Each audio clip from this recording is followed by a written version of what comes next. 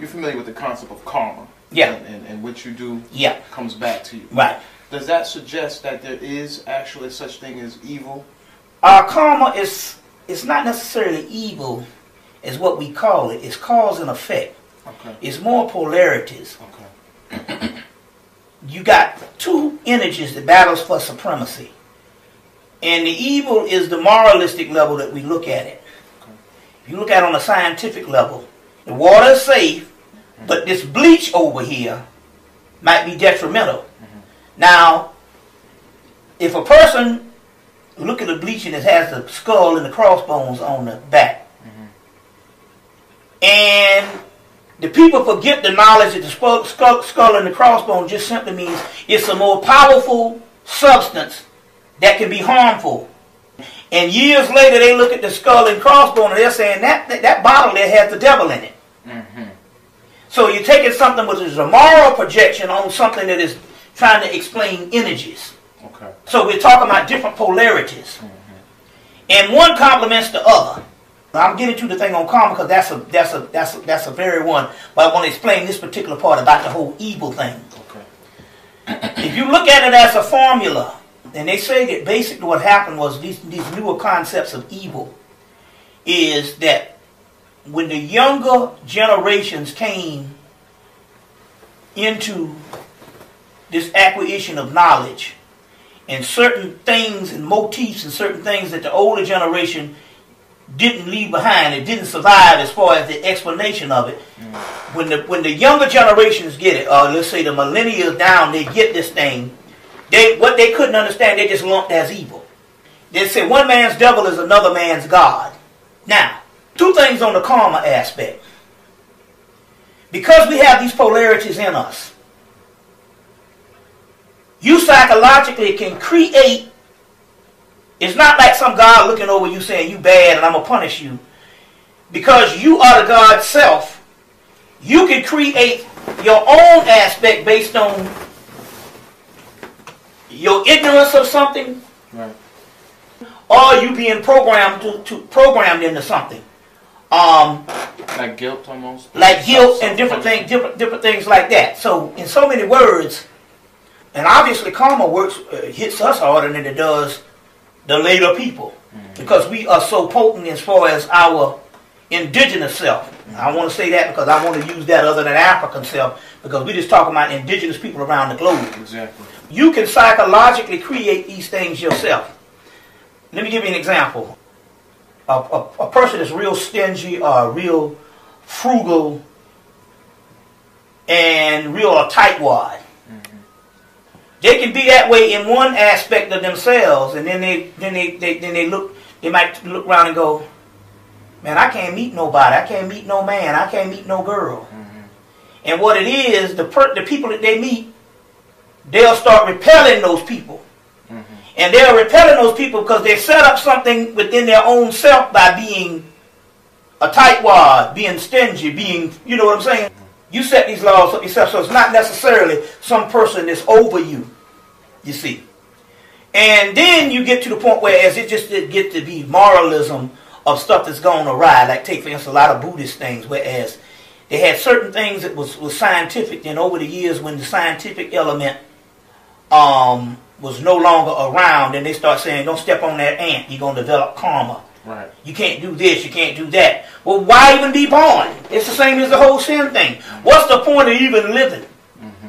You see what I'm saying? Mm-hmm. According to Islam and according to, to, to, to, to most fundamentalist Christians, you're just supposed to just stand still and not do anything because even to think is a sin.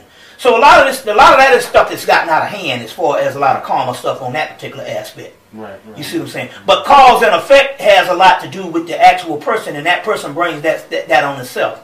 But getting back into this concept of evil, a lot of the evil uh, scientific laws that's been forgotten and been lumped over into what's evil. Let me give you an example. They talk about evil in the Kabbalah, which is the Hebrew thing, but which is actually on the Temple of Kom Ombo. These are, these are systems that came out of the mystery system a part of the evil is called Sita Ara or Sita Hara. And it's supposed to be this unclean spirits, mm-hmm. this filth. understand what this is scientifically. Obviously, we can't be talking about what's unclean in the circumference of a world because everything he comes from the same aspect. So ultimately, what you want, what you call clean, this might be just a different process going on that you might that you deem was clean and unclean. But what I'm trying to say here is, what, so what are they talking about when they talk about this thing is evil, is aura, these unclean spirits? Mm-hmm. Well, cosmically, because they call it call it cosmic filth. Mm-hmm. And cosmically and scientifically, what they're talking about is this. We have our solar system that was formed and the stuff that is left behind that's outside of this particular solar system are the building blocks and stuff. This is the stuff that they call unclean or cosmic filth.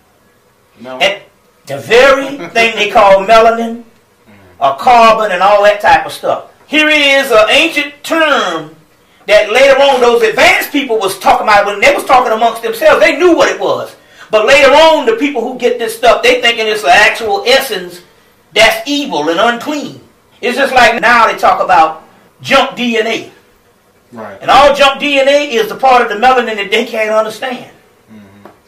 So they can only understand the two strands and they can't understand the other stuff, mm-hmm. then it's called that junk DNA.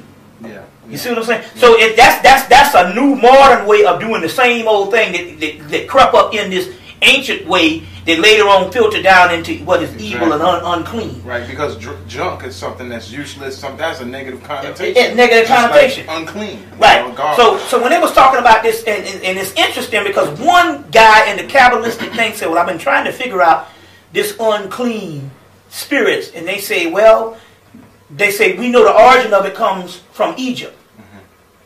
And the guy said, "Oh, then you're talking about some type of Egyptian sorcery." But if you look at the word sorcery and keep taking it back, it comes back to alchemy. Mm-hmm. These people are able to create something that is not only in this universe but outside of the universe, mm-hmm. which is the building blocks is ultimately talking about melanin. You see that carbon substance. So here again, to try to understand evil on a whole nother level. Now, what, what, what does that mean? There was another breakdown too. They said that the moral laws that came in, let's say the last 2,000 years or two, 3,000 years, mm-hmm they said that the spirit world, they knew that there was going to be a people that's going to be a younger people mm-hmm. that needed a moral code because they were people that were warlike people. You see what I'm saying? Mm-hmm. And they're coming out of a thawed out ice box. This, you know what I'm saying? This Iceman. So if he didn't have a book of laws and code, look what he did with the book of laws and code around the world. If he didn't have a book of laws and code, it could be mayhem, like the Bible. Right, right. So a lot of these books came in, they said, because the simple fact here was these books came into existence to later books that mm-hmm. was nothing but uh, reworks of much more ancient texts. Right, right. They came into existence because they needed a people that needed more fundamental laws just based on a system of behavior. Mm-hmm. Whereas they say they say when they look back into the ancient world, they don't see a sense of morality.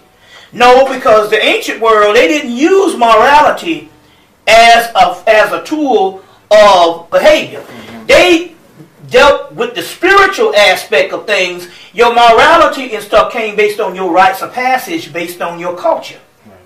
So you had certain things that was that, that was instilled in you that was a part of your culture, and the part of your if your part of your culture is not to do certain things, and you can it's already ingrained in you, and basically by being a part of your culture mm-hmm. and a part of your rites of passage, mm-hmm. you don't have to have a book to go to to tell you how to behave. Right. When you go to the book, the book is talking about much more advanced and spiritual things. Mm-hmm. Whereas the, the people that's coming from a much more harsher environment later on, mm-hmm. they they had to incorporate these things that would usually be in a rites of passage or in a cultural aspect, they had to incorporate them in the book. Almost like a child didn't have any upbringing. Right, didn't have no upbringing. right. Tell them don't do They have to, so they had to put it in the actual text. So a lot of those texts and a lot of the stuff that they call sin is just basically behavioral concepts for later people.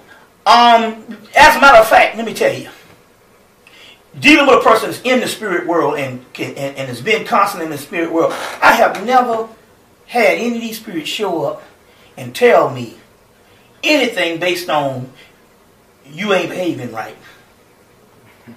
if you declare yourself a God, and that's what we are, then what you think and what you do, you write your own law. You know, basically, it ain't, you know, if, if, if you are already on that particular level, mm-hmm. then, you know, there's no law to say that you can't do this and you can't do that. You see. You know, now on the other hand, you have to understand to really get to that level. That's the only part about it. Is you got to realize, am I doing this? Is the ego doing this? That's a whole nother thing. Okay. But once you get to that particular level, and they'll let you know, well, you know, sooner or later you're gonna figure out that's that's your own ego doing that. Mm. So you'll you'll you'll figure that out.